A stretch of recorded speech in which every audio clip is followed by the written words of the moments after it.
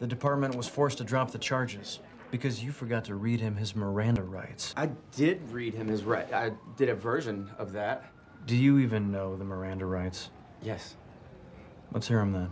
It's look. It obviously starts with you have the right to remain silent. I know you've heard this before, and and then um, it, it I think it sounds something like uh.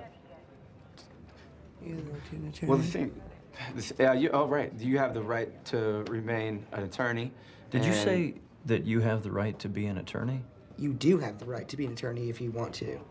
We're reviving a canceled undercover police program from the 80s and revamping it for modern times. One of these programs involves the use of young, immature seeming officers. I think you idiots are perfect.